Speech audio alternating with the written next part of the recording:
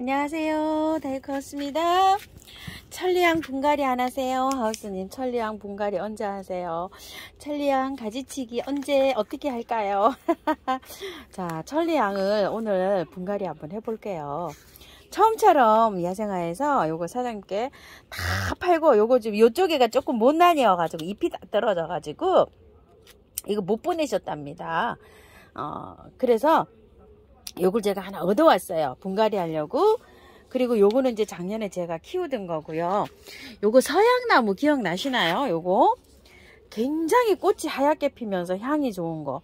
요 서양나무도 똑같은 방법으로 분갈이 하시면 돼요. 요런 거 백서향이나 서양나무, 천리향 이런 거 똑같이 하시면 됩니다. 이제 오늘은 요 천리향으로 분갈이 한번 해보고요. 가지치기 먼저 해볼게요. 자, 요거는 새로 가지고 온 건데 가지치기 할 게 있을까요? 그래도 있지요. 자, 이렇게 한번 보세요. 가지를 요렇게 보시고 어, 이게 좀 길죠? 이렇게 툭 튀어나와 있죠? 요런 거는 가지치기를 해줘야 됩니다. 가지치기 하면 어디를 하면 좋을까요? 아따, 여기 가지치기 할 때도 참 애매합니다. 그죠?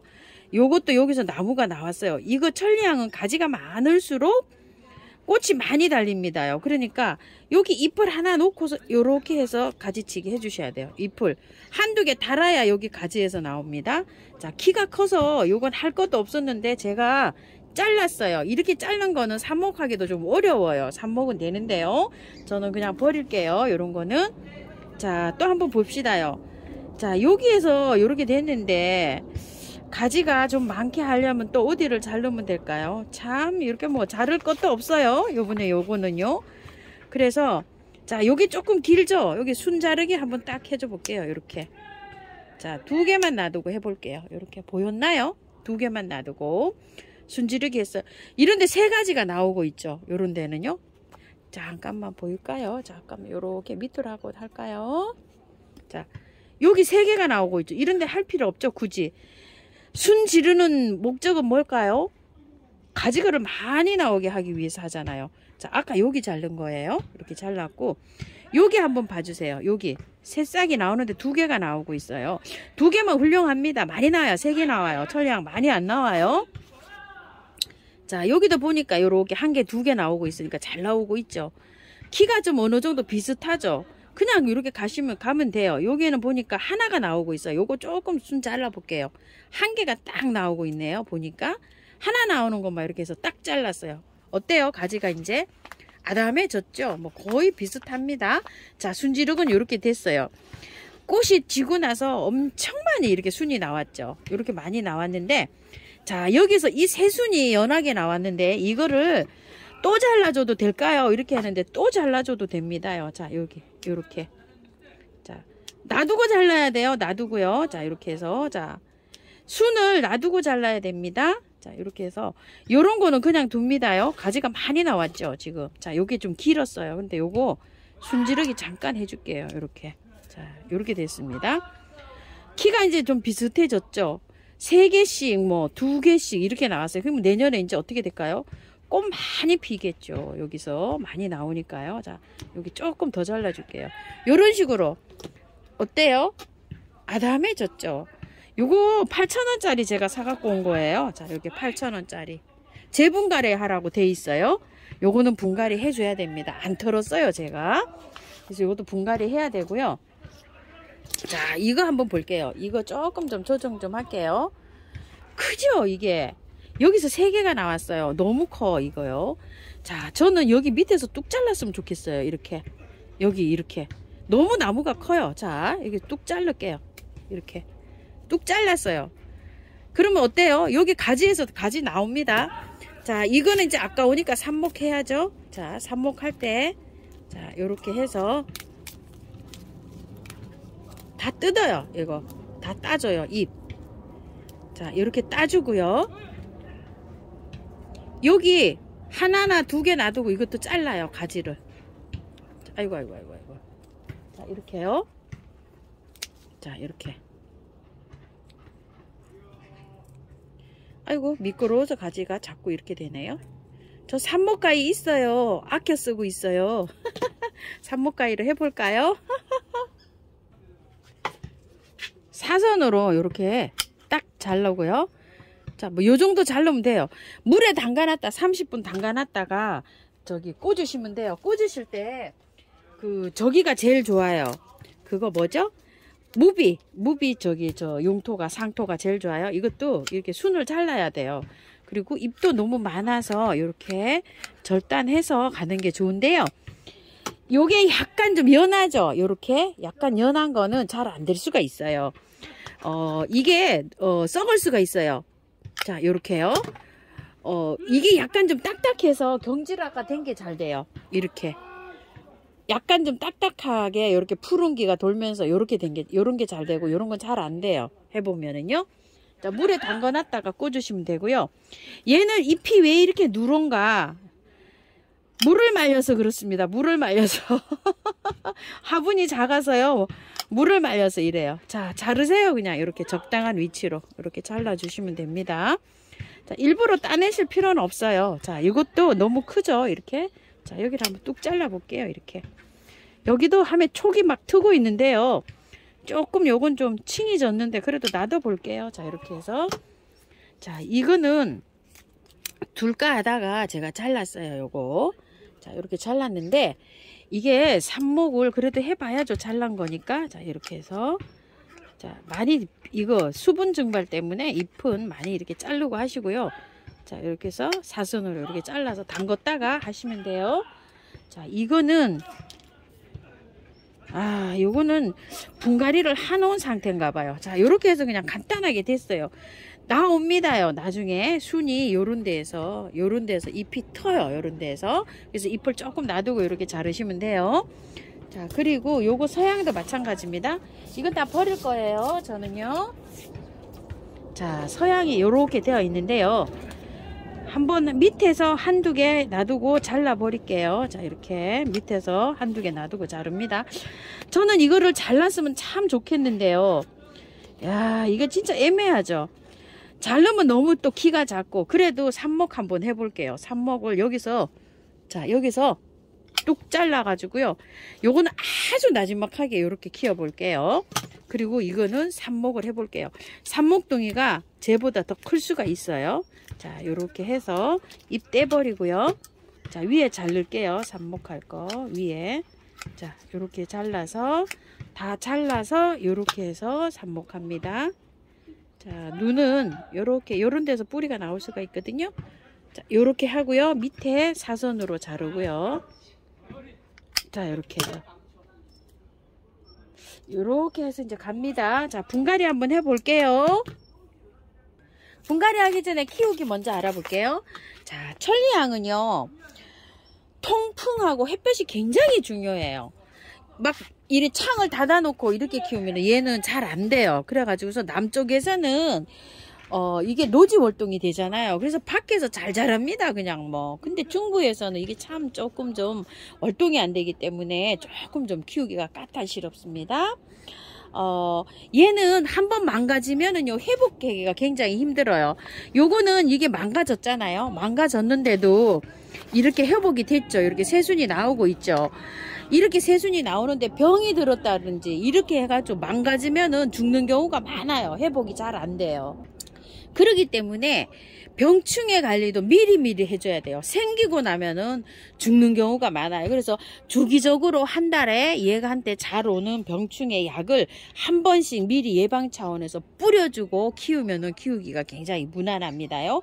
관리를 조금 좀 신경을 써서 키워야 되고요. 쑥쑥 자라진 않아요. 얘가 천천히 자랍니다. 그리고 물은 중간 정도 주셔야 돼요. 물을 많이 좋아하진 않아요, 얘가. 장맛비 같은 거 이런 거 맞히시면 안 돼요. 만약에 남부에서 노지에 심는다 그러면은 배수가 잘 되는 곳에 심으셔야 돼요. 요거요. 화분에서 이렇게 키우실 때는 화분 흙이 중간 정도 마르면 주면 좋은데요. 그렇게 못하고 다른 거랑 같이 주기를 맞춰서 주실 것 같으면은 마사 함량을 높여가지고요. 배수가 정말 잘 되게 그렇게 해야 돼요. 어, 가습이 되면은 얘가 또 죽을 수가 있어요. 잎이 누렇게 떠서 이렇게, 이렇게 될 수가 있어요. 이런 증상이 저는 여기 화분이 작아서 물을 말려서 이런데요. 가습이 되면 또 이렇게 나타날 수가 있고요. 이게 병충해가 끼면 또 이렇게 나타날 수가 있어요. 아이고 병충해가 왔네요. 여기 자 요렇게 생긴 게 응애가 생기면 요렇게 돼요. 요거 아우 안 보이죠? 뒤에가 까뭇까뭇해서 요렇게 생긴 거예요. 요런 거는 응애라는 거예요. 자 한번 볼까요? 요렇게 해서 자 요렇게 이렇게 생겼습니다. 응애. 응애가 한번 발병하면요. 굉장히 치료하기가 힘들어요.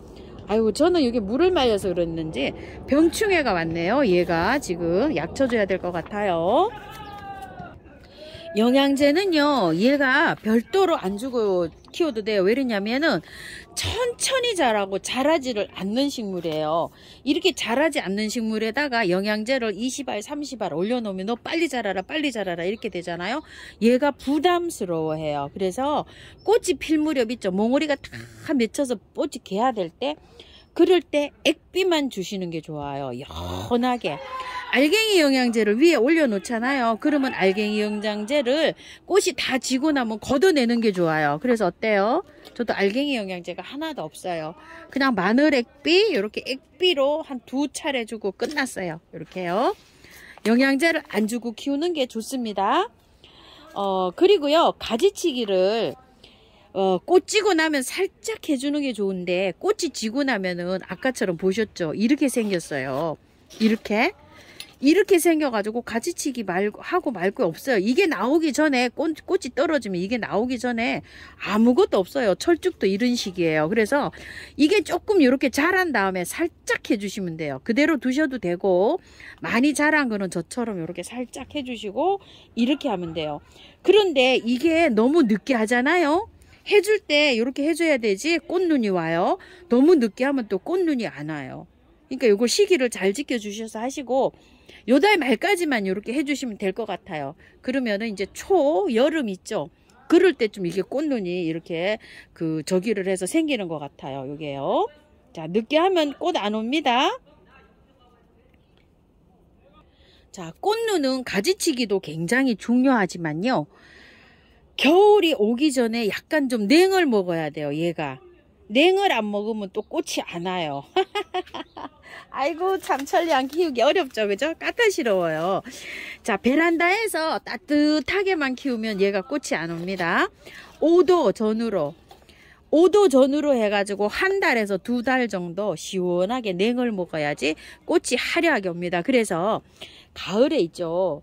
가을에 어 베란다에서 키우시는 분은 거리대에서요 어 5도 될 때까지 그냥 밖에 거리대에 두세요 밖에 거리대에 두시고 이제 안으로 들어 놓잖아요. 들어 놓으면 환기를 시키잖아요.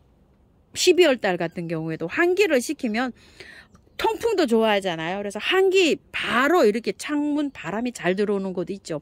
그런 데다 배치를 하셔서 얘가 키우면 냉은 충분히 먹으리라고 생각이 돼요. 자, 지금까지 토대로 해서 요걸 분갈이를 한번 해볼게요. 처음처럼 야생토를요, 어, 50. 자, 이거 마사를 30이에요. 마사를 30을 넣고요. 흙을 요거 토동이 다육에서 사온 원바이오를 20을 넣었어요. 요렇게 해서 한번 비벼 볼게요. 요런 거 천리향들이요. 처음처럼 야생토, 녹소토 요런 데서 잘 자랍니다. 그런데 제가 요거 20% 흙은 왜 넣냐고 하면은요. 어, 그 처음처럼 야생토에만 이걸 심으니까 적응이 잘 안 된다고 하시는 분이 좀 계셔서 제가 이렇게 흙을 좀 믹서를 해보는데요. 토동이 흙에는 어, 80에 토동이 흙 80에 흙을 요거 20만 넣어서 한번 비벼보세요. 그리고 집에 그냥 흙이 있으신 분은 산온흙 40에 마사 30, 펄라이트 30을 넣어가지고요. 배수 잘 되게 한번 비벼보십시오. 자 이렇게 해서 나왔어요. 이렇게 해서 심어 줄 건데요. 화분은 천리향은요 화분을 크게 쓰시면 안 돼요. 가습이 될 위험이 있어요. 그래서 화분을 크게 쓰면은 어, 죽일 가습으로 죽일 확률이 높아요. 그래서 화분을 작은 화분을 쓰는데요. 자, 여기 화분이 좀 크죠? 화분이 커서 밑에 배수층으로 거의 절반 가깝게 란석으로 이렇게 채웠어요. 밑에 화분을 엎으로 엎은 건 아니고요. 란석으로 이렇게 많이 채웠습니다. 자 이렇게 해서 가습 방지를 하기 위해서 이렇게 채웠어요. 이렇게 분갈이 하시면 여름에요. 이틀에 한 번 뭐 이렇게 물 주셔도 괜찮아요. 제가 한번 요걸 키워본 결 저기로는요. 요건 화분이 너무 작아요. 그래서 저것도 분갈이 해줘야 되는데요. 자 요거를 요렇게 이제 분갈이를 해줄 거예요. 자 화분에서 한번 빼 볼게요. 자. 어때요? 터니까 그냥 다 털렸죠 이렇게 자, 다 털고 해주셔도 상관없어요. 그냥 자동으로 다 털렸죠? 자 이렇게 깔끔하게 털렸습니다요. 흙이 완전히 그냥 쪄들었어요 쪄들었어. 자 이렇게 해서 이제 깨끗한 흙으로 갈아탑니다. 자 흙 넣어줘 볼게요. 자 이렇게 자리를 잘 잡고요. 흙 들어갑니다 천리향이요. 한번 분갈이 해 놓으면 쉽게 잘 자라요. 자라는데 병충해가 조금 오면은 조금 얘가 좀 힘들더라고요. 병충해가 오면. 자 이렇게 해서 조금 위로 빼 올려서 이렇게 해주고요. 마사로 복토해 주셔도 상관없어요. 요게 고정을 딱 하려면 마사로 딱 지지하는 게 좋아요. 자 이렇게 분갈이가 끝났어요 저거 백서향도 똑같은 방법으로 흙도 똑같이 해주시면 됩니다요. 어, 서양들이 조금 좀 요게 동백이랑 요렇게 비슷합니다. 물 많이 주세요. 물을 많이 주셔야 됩니다. 발이 없어요. 지금 발이 없어서 물 내려가느라고 꾸룩꾸룩 하죠. 이렇게요. 이런 것들은 꼭 받침대를 해주셔야 돼요. 공기구멍 이렇게 해주셔야 됩니다. 받침대를 꼭 사용해야 됩니다요. 자, 이렇게 들면 쪽 빠지죠? 이렇게 넣으면 조금 좀 잘 안 내려갑니다. 물 많이 주시고요. 자, 그리고 요거 뒤에 응애 생긴 거는요.